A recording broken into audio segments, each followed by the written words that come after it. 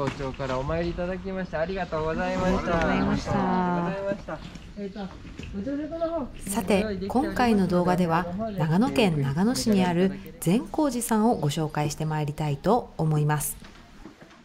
今私が入ろうとしているのは善光寺さんお参りの際お世話になりました宿坊淵の坊さんです。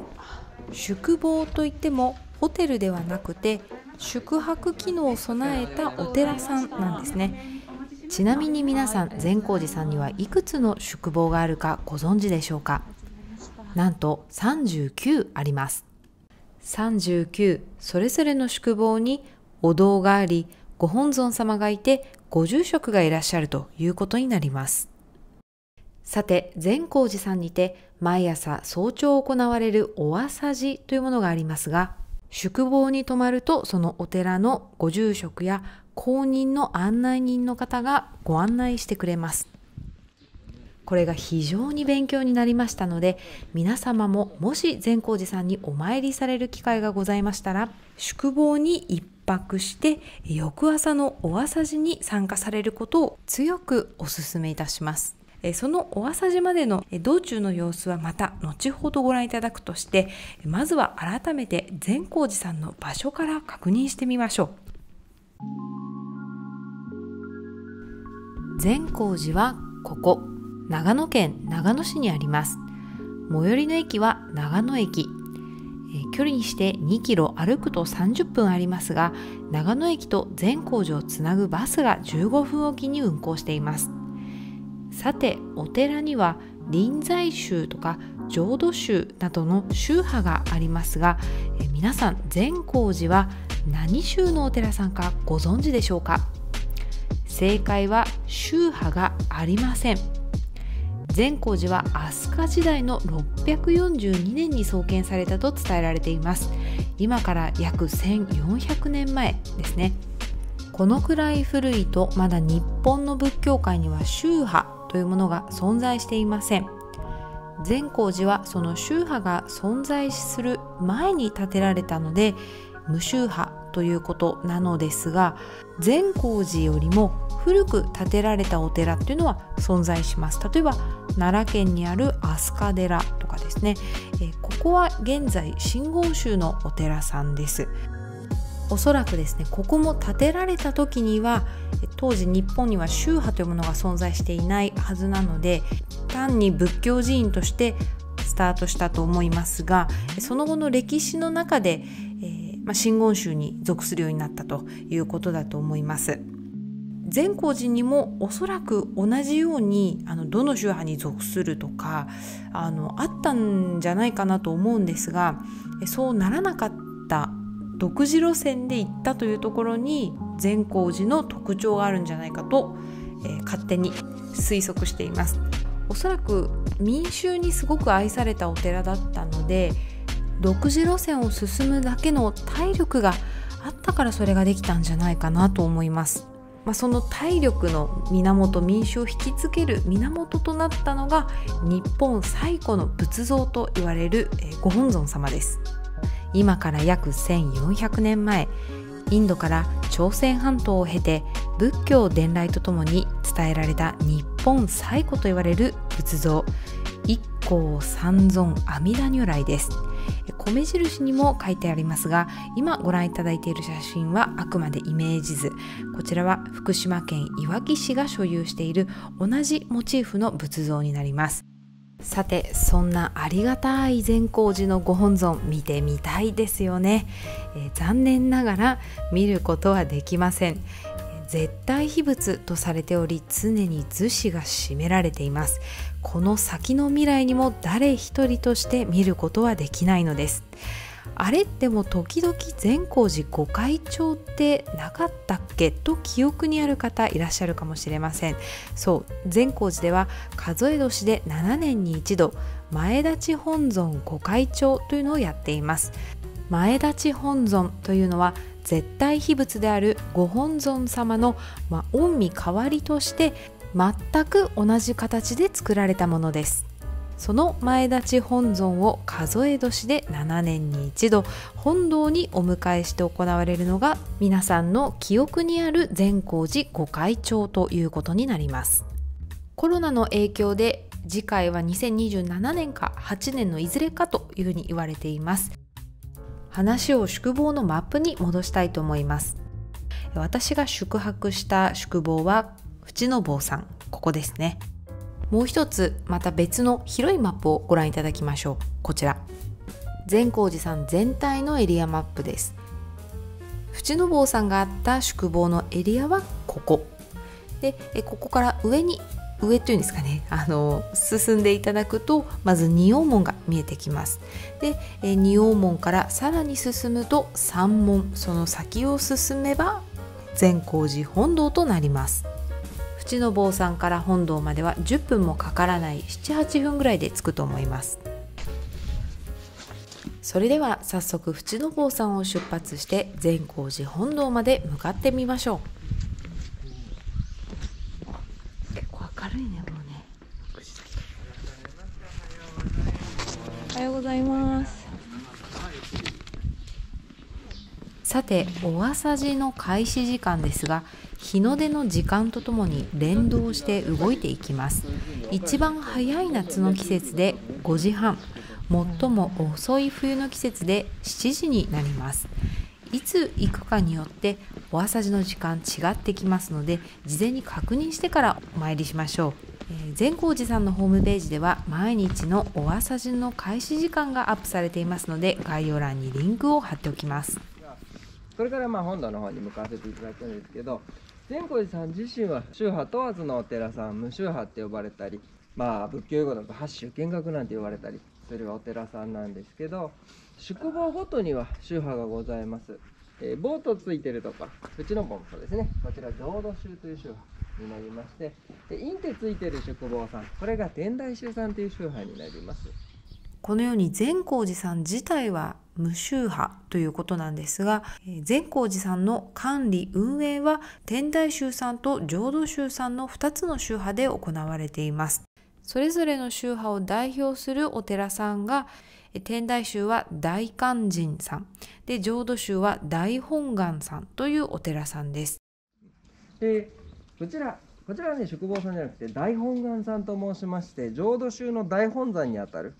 場所なんですけど、えー、まあ菊の御門がある通り皇室ゆかりの方が代々、えー、ご住職様になられましてそして一番最初から女性の方がご住職様ですね。かなり珍しいんですけどお上人様と呼ばれるご住職様。そして奥には大勧進さんという天台宗さんの方のお寺さんがございましてこちらはお貫主様と呼ばれる男性のご住職様なのでこのお二人がまあえいらっしゃって周りに39人のご住職がいらっしゃるというちょっとね特殊な形式のお寺さんでなので本堂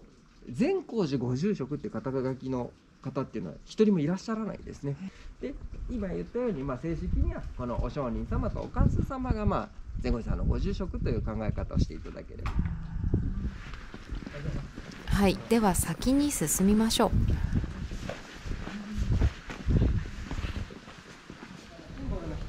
仁王門になります、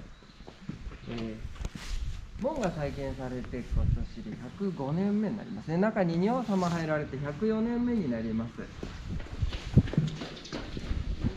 本当にねあのこの血管もすごい浮き出てるようなしっかりとした作りなんですけどぱっと見ねちょっと分かりづらいんですけどちょっとね珍しい作り方であのこんだけ大きいんですけどこの台座とおみ足がくっついてらっしゃらないんですね。だから自立して立ってらっしゃる。あそうなんだ。もちろんね前に倒れないようにだけあそこに支えがあるんですけどあれ以外の支えがないんですね。へえ。が深い場所になります。あの歩いていただいてる石畳なんかもこれも江戸時代のものですね。あそうなんだ。と思います、えー、7777枚えー、ラッキー数えたことないのであの言われてます。確かに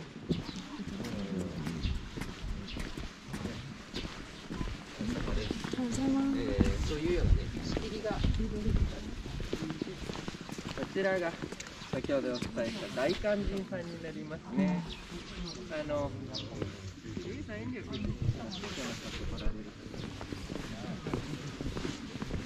あの前後さんの一番のシンボル鳩字の額になりますね。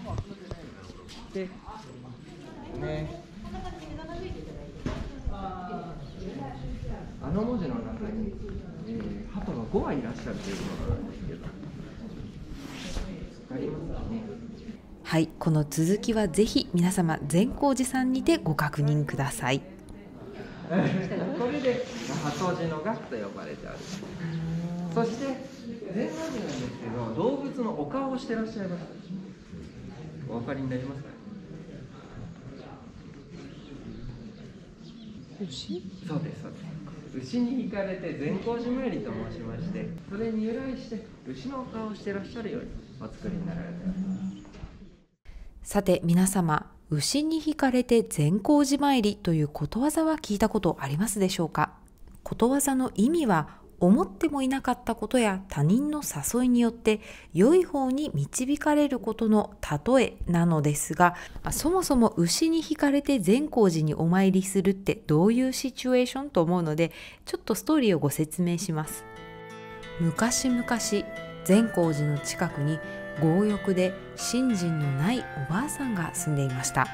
ある日川で布を洗濯しているとどこからか一頭の牛が現れ角にその布を引っ掛けて走っていくではありませんか。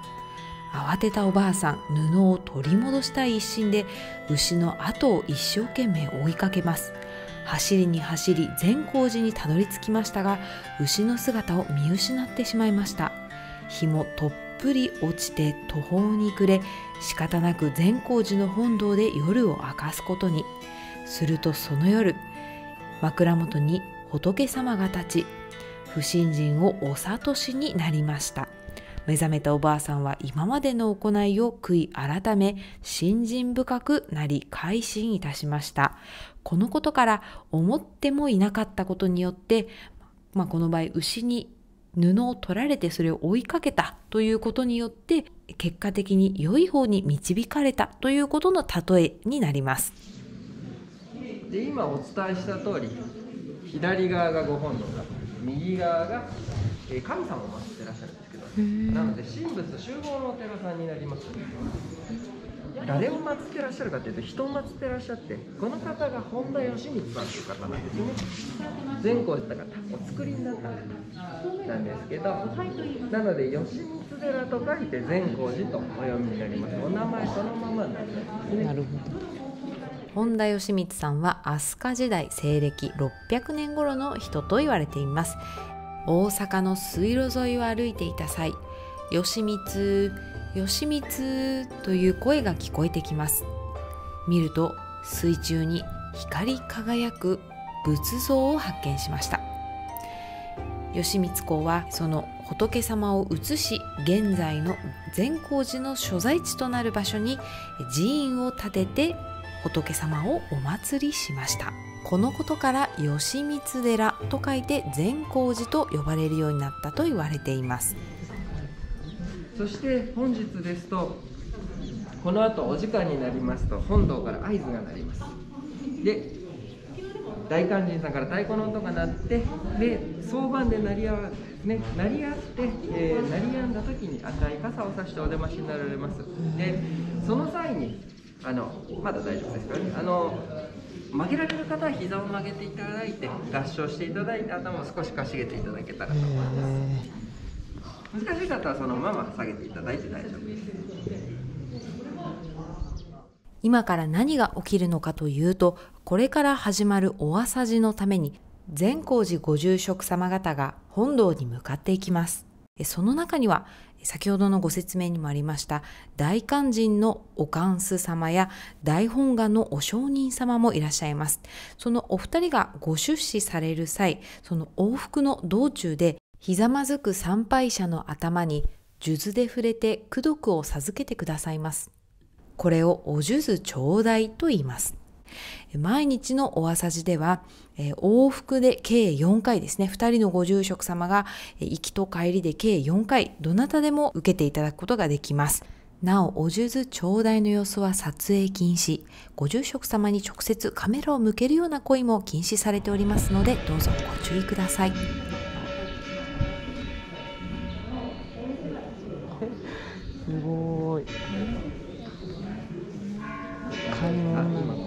これが出ましたよみたいな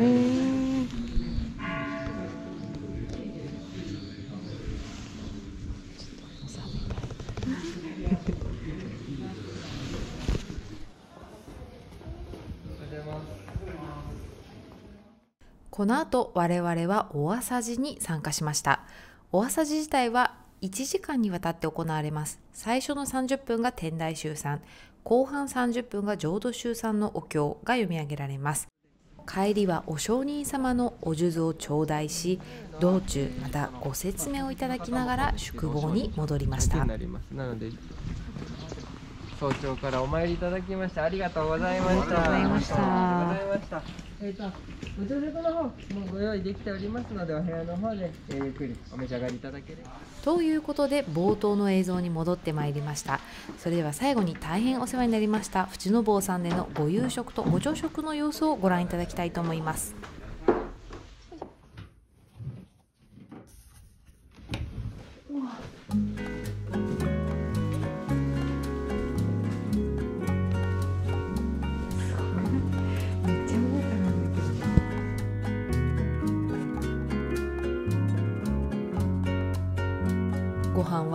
精進料理とっても美しく美味しくいただきました。